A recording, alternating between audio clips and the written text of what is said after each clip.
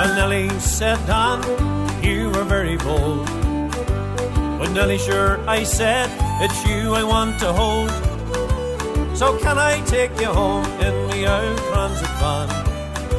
Sure, I'd put my arms around you, we'll have a bit of fun. Oh, the cow kicked Nellie in the belly in the barn. And Nellie said the cow didn't do one bit of harm. Well, I gave her a bottle, a bottle of the best. If she let me put me two arms right around her waist. Well, I took Nellie home in me old transit van.